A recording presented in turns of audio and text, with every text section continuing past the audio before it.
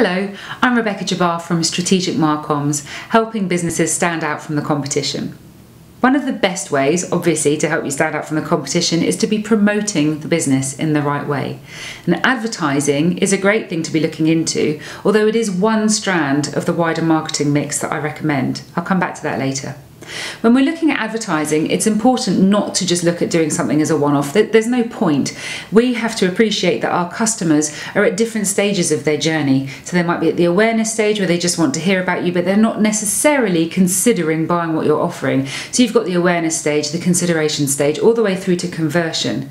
And in fact, that's what your advertising needs to be doing. It needs to consider the fact that your customer is on a journey, and we want to be making sure that your brand and your messages are along that journey journey with them, hence repeat advertising.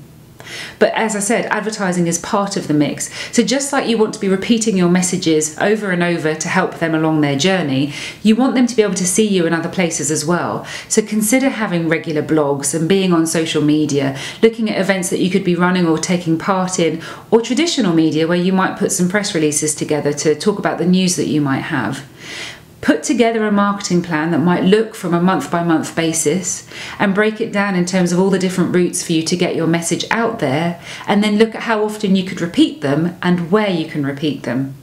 And when you're thinking about advertising and you're looking at that investment, the best rate of return, as like I said, if you're repeating your message, you're more likely to get that return. And consider a community magazine because that's exactly what I've done, and that's because I'm a local business wanting to target other local business owners. So why wouldn't I consider it? And in fact, it's been successful for me so far. But whatever you do in terms of your marketing mix and promoting your business, advertising or not, I wish you the best of luck.